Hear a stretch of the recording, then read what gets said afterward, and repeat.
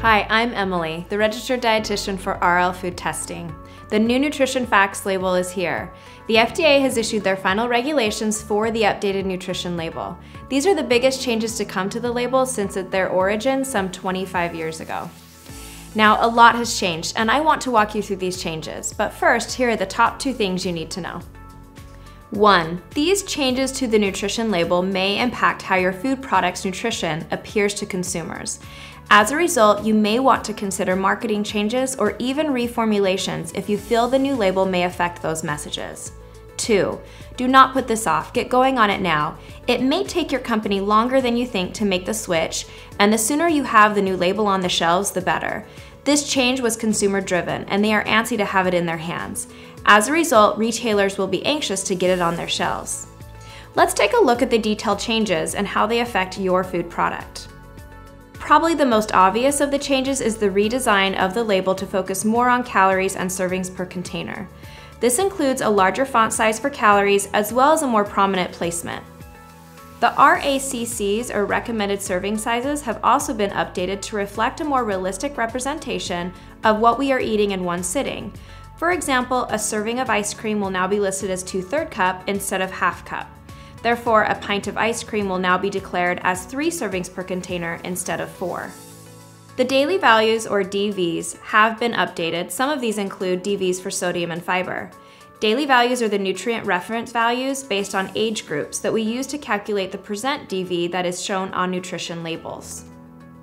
Sugars that do not occur naturally in food but are added by the manufacturer must now be declared under added sugars which has been added as a required nutrient. A percent DV of 50 grams has been established for adults, and a list for added sugars has been provided by the FDA.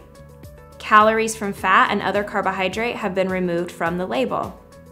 Dietary fiber has been defined as a non digestible carbohydrate, and fibers that are beneficial to human health may be reported on the label. Vitamins A and C are no longer required and have been replaced with vitamin D and potassium.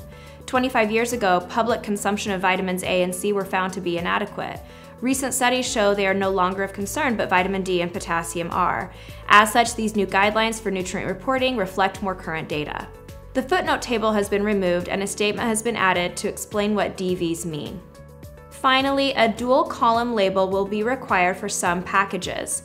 Products requiring this dual label include one, a product that needs further preparation, like a dry cake mix or pasta. Two, a product commonly combined with other ingredients, like adding cereal to milk. Three, a product needing to show the percent daily value for two different RDIs, for example, both a child and an adult. Four, a product that has two serving sizes, therefore will need to show nutrition information for both. Five, a product that has two to three servings are now required to use the dual column label to show nutrition information for a single serving and for the whole container. The FDA's examples are a 24 ounce bottle of soda or a pint of ice cream. Six, of note, a product that is packaged and sold individually and contains less than two servings is now to be labeled as a single serving. Previously, for packages that contained less than two servings, you could list about two servings. Now it must be listed as one serving per container. The compliance date is July 26, 2018. However, food manufacturers with less than $10 million in annual food sales will have one additional year to comply. So, what does all of this mean for your food product? Many of these changes may impact how your food product nutrition will appear to consumers. For example, a larger serving size may increase your calories displayed, while the new fiber definitions may lower your fiber declaration, and the new added sugars declaration may highlight undesired nutrients. Food manufacturers may want to reformulate some of their products to better position how their products will appear to consumers.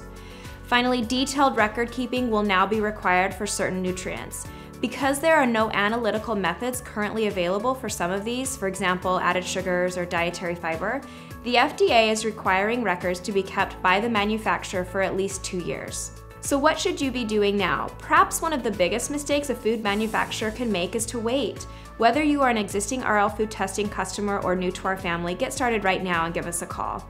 We will take a look at your food product and be able to tell you how these new changes will affect your labeling the most. This is a really exciting time for all of us in the food business, and maybe a little scary too. We at RL Food Testing want to help our customers navigate these changes with ease. You can visit our website for more information, and feel free to give us a call too. We look forward to hearing from you soon. Thanks so much for listening.